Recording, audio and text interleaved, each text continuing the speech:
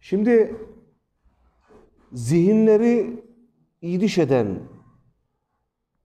ve zihinleri daha doğrusu zihin yoluyla insanı insani öğelerinden, insani değerlerinden koparıp atan bazı kurgusal ve sanal yollara karşı acaba ne ile direnmek lazım?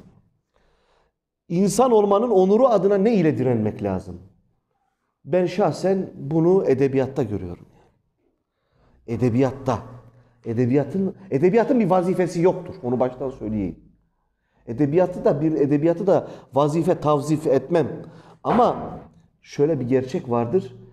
Edebiyatla iştigal eden zihinler ve kalpler her şeyden önce birey olmayı ötekilere göre daha çabuk başarabilenlerdir. Bu benim aklıma Cemal Süreyya'nın bir şiirini getirdi burada. Pardon Cemal Süreyya diyorum özür dilerim. Turgut Uyar'dan. Büyük Saat e, kitabında da var bu şiir. Okurken aklıma onu getirdi. Biraz paylaşmak istiyorum bazı satırları sizinle mısraları. Hazırlıksız yakalandılar. Uzun sesleri vardı. Şöyle düşünün yani şiir bir yerde alımlama işidir. Bu mısraları okurken siz içinde bulunduğunuz gündem de dahil olmak üzere iç dünyanızı bir bütün olarak şöyle gözünüzün önünden geçirerek düşünün yani ben mısraları okurken. Hazırlıksız yakalandılar, uzun sesleri vardı. Uzun kolları ve uzamış sakalları. Kim uyanırsa öyle derin bir uykudan, oğuştururdu gözlerini elbet. Bir kara tavşan gibi, havuç tarlasında elbet. Bir kara tavşan ki havuçsuz, bir kara gözlü çocuk ki Bizans'ı elemiş yeniçerilerle. Büyük fetihlere kan vermiş. Bir perçemli çocuk ki, bir perçemsiz çocuk ki, üniformasız ve yalın ayak askerlerle ki gözlerinde gözlük taşımamış, ki apış arasında kasık bağı, ki kursağında kandil simidi, yüreğinde ölüm acısı, hazırlıksız yakalandılar. Ben bir akşamın mostrasını bilirim. Sesler ve pahalı çiçekler arasında onun aşkı bir güneşe yakışır. Bir eski zamana yakışır. Kesin buğdaylar, arpalar arasında vazgeç gönlümü karartmaktan. Allah aşkına ey yeni sabun, çıplak ayakla yürürüm ben. Suda salınan çeltikler arasından. Çoğu eski günlerini, çoğu eski babalarını andılar. İlk çocukluğunuzu hatırlayarak dinleyin yani. Çoğu şöyle böyle, çoğu hazırlıksız yakalandılar. Bencil ölüm kimseyi alıp gidemezsin. Bize mutlaka bir şeyler kalır. Kimsenin eskitemediği o şeyler kalır. Olgun bir yaz akşamı, bir nasılsın, bir var mısın sabaha karşı? Gün döndü Akdeniz'den, Çukurova'dan. Gün döndü bir bayramı sabahlarken, sular kesildi, akşam uzadı herkes. Herkes ne iyi, herkes ne iyi. Hazırlıksız yakalandılar.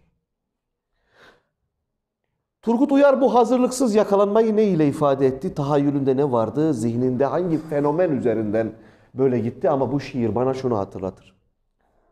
Yani çocukluğumuzun masumiyetinden maalesef öyle bir çağa hazırlıksız yakalandık ki selamlarımızda, merhabalarımızda, çıplak ayaklarımızda çocukluğumuzda koşarken bana mesela hani kendi çocukluğumun kerpiç damlı evlerini hatırlatır. Var mı vakit?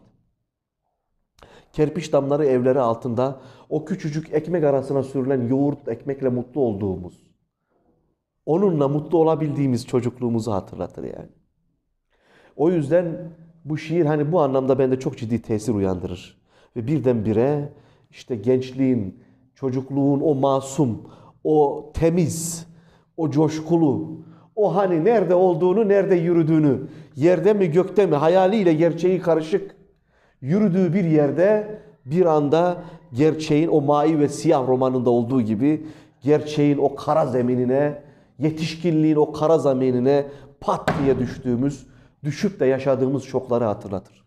Ama maalesef şimdiki çocuklar o şok, o şoku bile yaşamanın, o şoku bile yaşamanın erdeminden e, uzak, bu erdemden, bu duygudan, bu histen uzak bir şekilde onlar bizden daha erken yakalandılar yani.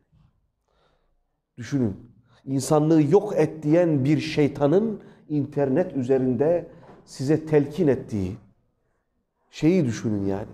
Onlar şeytanın sanal boyutta YouTuber sıfatıyla kendisini gösterip zihinleri bu yollarla idiş ettiği bir zamana çok kötü yakalandılar.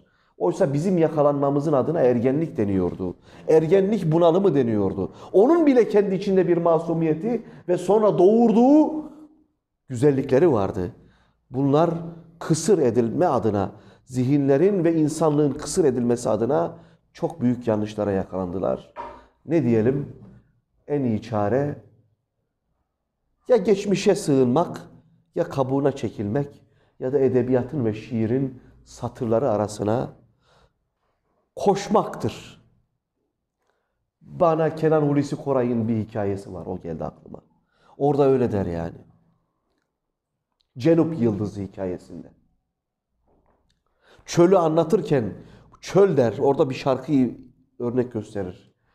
Çöl üstünde her şeyin serap olduğu yerdir der. Üstünde her şeyin serap olduğu yer. Şu anda üstünde her şeyin serap olduğu bir çölleşmeyi yaşıyoruz. Bu anlamda edebiyatın o ince, o düşünmeye yönlendiren, insan melekelerini bütün yönüyle çalıştıran tarafına şiir dersiniz, öykü dersiniz, roman dersiniz, destan dersiniz, mitoloji dersiniz ama bir yerlerine tutunmak lazım. Öyleydi. Bundan bir kuşak, iki kuşak öncesine gidin. Bir mühendisin, bir matematikçinin, fizikçinin, kimyacının veyahut tarihçinin veya farklı alanda bir iş adamının edebi bir tarafı vardı. Mutlaka edebiyatla meşgul bir eli, bir tarafı vardı. Bugün biz o eli kırdık. Zihnin o tarafını kör ettik. Alaylı sanal muhabbetlerde meze yaptık bu işleri. Sonra da edebiyatın İsrailiyatını çıkarttık. O da ayrı bir başlık. O yüzden bu şiir bende böyle bir tesir uyandırır. Şimdi sizde ne uyandırdı? O da sizin zihninize, masumiyet tarafınıza ve his boyutunuza kalmış. Teşekkür ediyorum.